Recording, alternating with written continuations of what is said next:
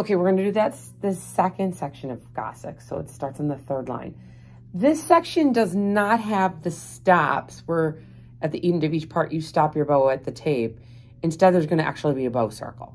So let's try this. So it's gonna start A, two, one, three.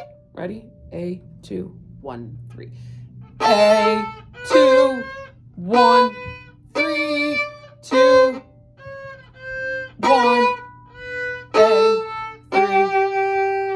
And now smooth two,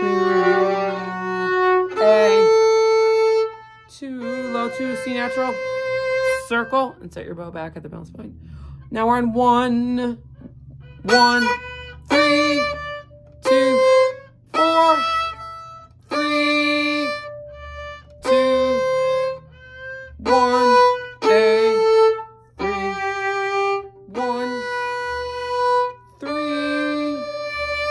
Bow circle, back at the balance point. The sticker, ready? Now four, four, three, three, two, two, one, one, A, A, two, four.